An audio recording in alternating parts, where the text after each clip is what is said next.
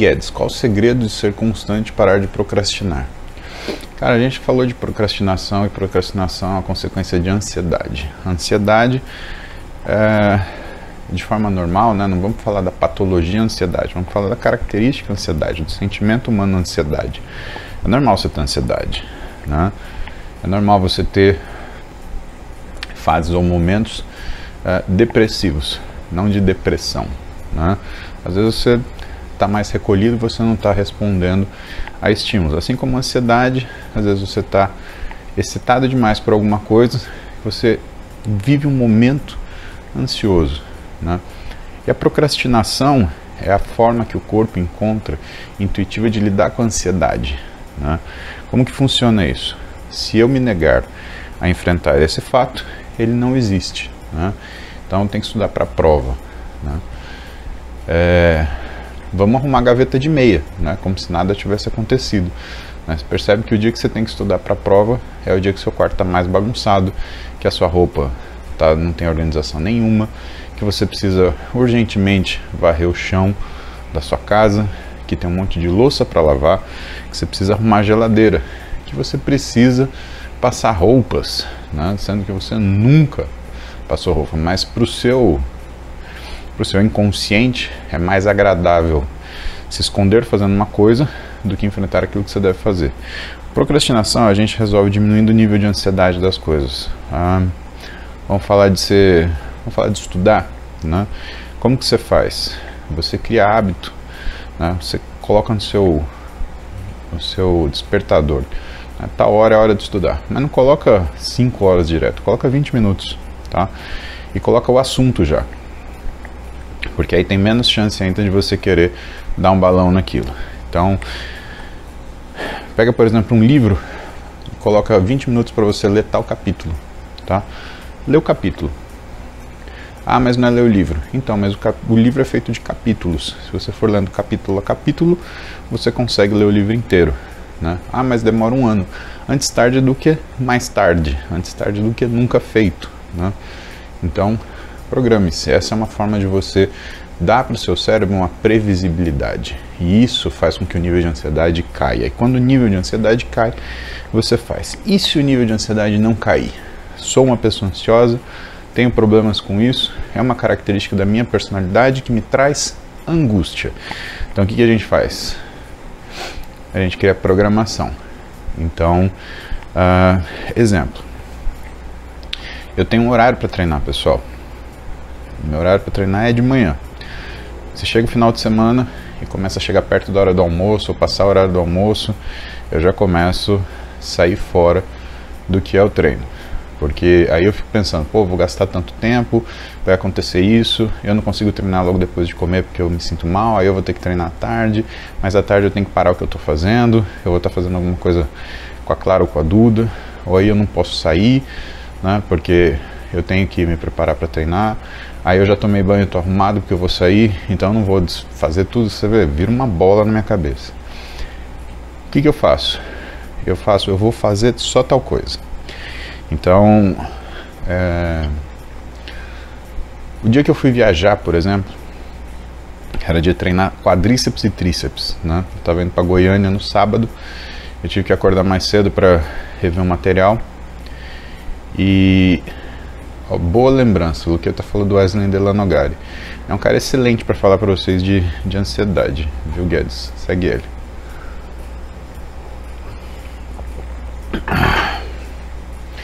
Então, eu tive que fazer, eu tive que abrir o computador, resolver algumas emergências e aí depois, antes de sair para pegar o avião. Só que o avião era 12 12h55 né? Isso quer dizer que o embarque começava meio-dia, quer dizer que eu tinha que estar no aeroporto para ter uma segurança mais ou menos umas 11h30. Né? E para estar às 11h30 no aeroporto, eu tinha que sair da minha casa às 10h30. E aí a gente começa a contar o horário ao contrário. Para treinar e tomar banho, eu preciso de duas horas. Então eu preciso começar a treinar no máximo 8 e para começar a treinar no máximo 8 e meia, Aliás, eu preciso estar tá no aeroporto. É, eu preciso estar tá no aeroporto 11h30. Então tem que sair de casa às 10 e meia, preciso de duas horas para treinar, eu tenho que começar a treinar às 8 e eu preciso acordar 7 horas. Só que o que aconteceu? Eu acordei às 7 e meia. E aí lascou. Por quê? Porque meia hora você perde um avião. E aí o que, que eu ia sacrificar? O treino, lógico. Ah, não vou trair, nem vou. E aí, o que, que eu fiz? Falei, já sei, vou mudar o jeito do treino. Em vez de fazer N várias séries de agachamento leg press, como começa o meu treino de quadríceps, eu vou fazer uma série de cluster muito pesado, né? Eu vou fazer um cluster. Então, por exemplo, uh, um cluster no agachamento são 10 séries de 3 repetições com 10 segundos de intervalo. Cara, você sai do cluster já, teu quadríceps bombando, porque você faz, você coloca um peso para fazer 8 repetições, na verdade você faz 20. Então é um treino também de força, né, que você regula a força por conta da, da, da quantidade de intervalo. E logo depois eu fiz a mesma coisa no leg press. E é um treino que fica mais rápido, né? Cara, eu matei essa primeira fase, deu 7 minutos, 8 minutos. E depois, aí eu fiz um, S, um FST7 na cadeira extensora, né, 7 séries de 15 repetições com 30 segundos de intervalo, que deu mais ou menos 7 minutos. O treino inteiro depois, né, eu fui fazendo assim, tríceps também, eu fazia uma série muito pesada e partia para outro exercício. E o treino todo deu 35 minutos. Pois é. E aí funcionou. E quer saber? Foi um baita treino, porque eu trabalhei força, trabalhei carga, trabalhei peso, né? E acabei treinando antes do previsto e aí consegui regularizar todo dia. Então, é, às vezes a gente tem que acertar que perfeito é ter feito, tá? Perfeito é ter feito, né? Por quê? Porque se você não faz buscando a perfeição, você já errou, né? Porque você não fez. Então essa é uma das coisas que você pode fazer.